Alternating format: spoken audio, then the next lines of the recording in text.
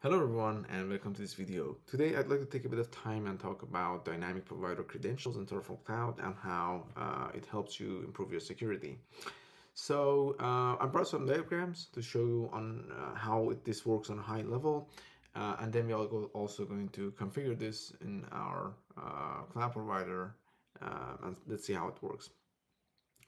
okay, so historically, uh, the way that you would configure your, um, your workspaces in Terraform Cloud uh, was basically creating um, yeah, access key and access key secret uh, in your cloud provider, um, and then basically um, provision these secrets into your workspace. And then your workspace would of course use these secrets to make uh, API calls and provision resources in your uh, in the cloud of your choice. Now the issue with this approach is that these credentials are static, uh, and of course there are some there's going to be some challenges when you want to rotate these, um, and also, of course it's also not the best, uh, the most scalable solution I would say. Um, now, the way that we can uh, overcome this challenge is using the dynamic provider credentials.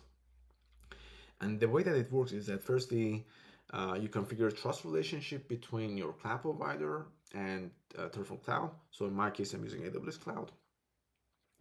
And after establishing this trust policy, you also configure Terraform Cloud to use this trust policy. And then for every run, uh, for every Terraform run uh, that you do in your Terraform Cloud, there are going to be your Terraform cloud is going to be retrieve, retrieving unique credentials for that specific run and then provision resources. So as you can imagine, this uh, having unique unique set of credentials for every run is going to be giving you a lot of um, flexibility when it comes to your security posture, and it's going to be really enhancing your security. So every, if someone gets access to these secrets, they cannot do, do a lot with it because probably they would be expired uh, by the time that they have access to it because they're short-lived.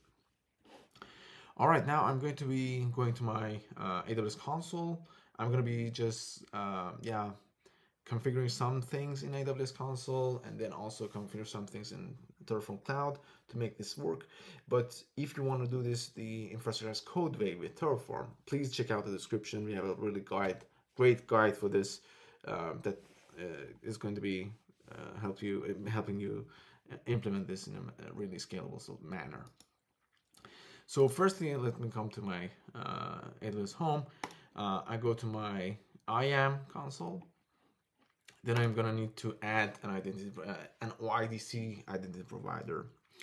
So and the, uh, so connecting basically AWS and my Terraform Cloud. So the first thing is that I uh, click on the add provider and add OpenID Connect. Then we are going to basically paste in our Terraform Cloud URL as well as the audience, of course. The audience should be also this value. So again, all of these values, you will find them in the description. Then I'm gonna click on the, ah, I forgot to click on thumbprint. Uh, but yeah, again, all of these values, uh, all of these values are in the description. Please check out the descriptions if you want to deploy this. So after adding the identity provider, now I'm going to need to create a role and a trust relationship, and also have, of course, adding the policy permission set. Now I'm going to need to move away my image. So sorry for the for that. So now I created a uh, create role, and what we need is a web identity. And here, from here, I get I choose the identity provider that I just created as well as the audience. Click next. Now I need to give the tell uh, AWS what permissions should this um, should my Terraform Cloud have. So basically, all the permissions that your Terraform Cloud, all the resources that it needs to access in order to provision something, you need to uh, uh, set these policies accordingly. So yeah, EC2 policies, then I'm gonna click next. So this is the basic policy that I just created in order to just provision EC2 instances. So now I'm gonna uh, I'm gonna make some small change here, but I will do that in the next step. Uh, I'm gonna call this TFC role. All right, create role.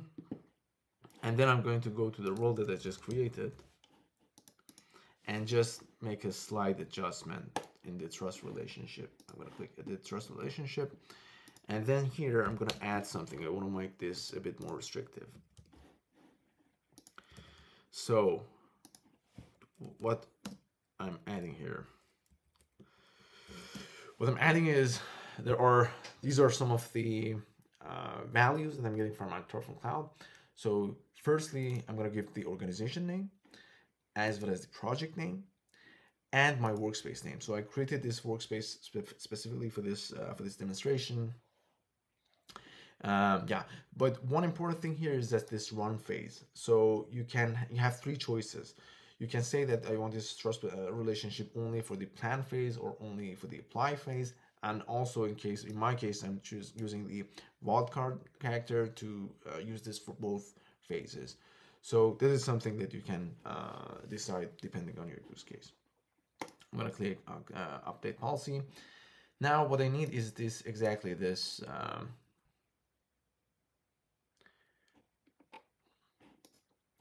all right so let me jump to, into my Terraform Cloud uh, and now as you can see here I don't have any variables as well as any variable sets now what I would be doing is adding two variables first to make sure to uh, let Terraform know that it should be using this feature, the dynamic provider credentials feature, I mean. So let's paste this in. That this would be basically the flag for that, as well as the role ARN. So that is basically just a role that we just created. So I'm gonna add this. All right, now everything should be set for this workspace. Now let me just jump into my Terraform code. So this is a Terraform code that I just uh, wrote, that I've written for this, just testing out this feature. So as you can see here, this is the workspace that we just saw. And let me just go ahead and do a Terraform apply. And let's see how it works. So basically, if at this point, if we, we can provision any resources into, uh, in AWS, um, this should be, sorry. So if I'm provisioning resources in AWS, then this is pretty much working. So let me also jump here to the EC2 console.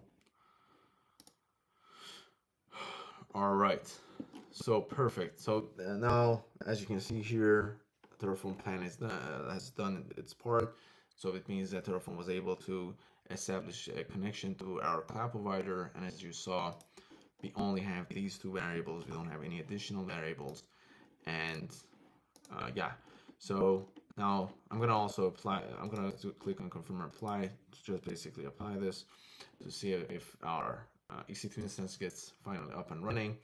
Yeah but this probably is not the way that you would want to do this in your production probably you want uh, also do this the FSRS code way and as I mentioned uh, I'm gonna post some resources for you just to do that um, using Terraform code, basically.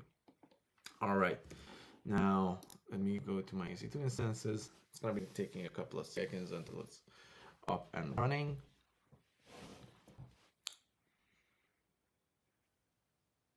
Okay.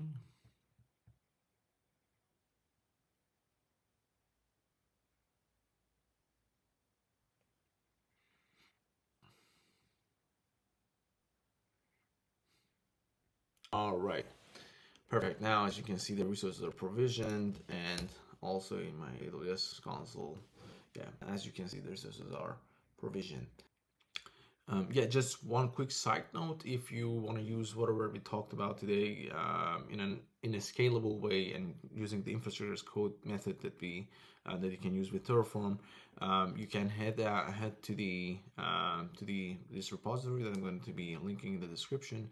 Uh, so if you go, for example, in case of AWS, if you go to AWS folder and in the trust folder, you see all of these Terraform resources, um, and you can see here this is pretty much what we uh, configured in the uh, in the UI in the AWS console. Um, so here you can um, yeah you can basically use this to use dynamic provider credentials in a scalable way. All right, um, so that would be it. Thank you very much for watching. If you have any questions, please post them in the comments. And yeah, thank you.